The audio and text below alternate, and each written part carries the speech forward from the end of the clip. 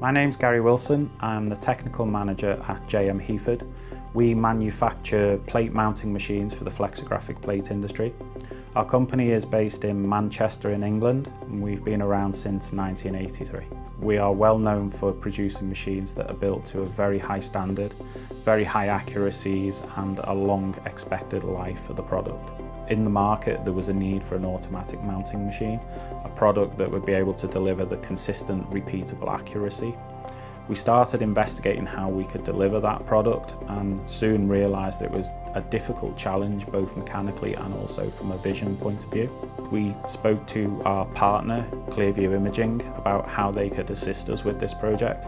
They've helped us develop our vision systems from where we were with an analogue solution right through to the straightforward digital solution and now into this automatic system with the target recognition. So when JM Hayford came to us to design the auto mounter, uh, it, superficially it's quite a simple problem. We need to locate targets on a flexographic plate and tell a machine where they are and move.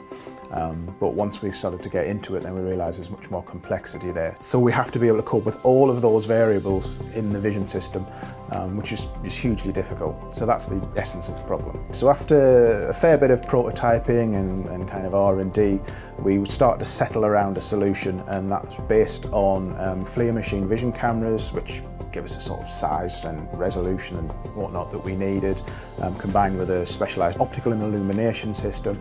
Um, so that gets us the image we need, and then that's combined with um, Matrox's MIL tools that we use for we use geometric model finder and pattern matcher to allow us to locate shapes and objects in the scene, even with the presence of noise or other artifacts that we just don't want. Um, and the net result is out of that we get a position to better than 10 microns in probably less than 100 milliseconds. Their engineers have took the time to understand what the problem is from our perspective and from the customer's perspective.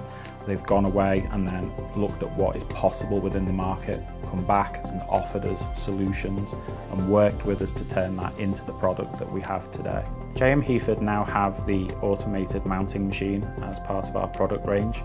It's been a successful product and has been adopted by many customers across different continents.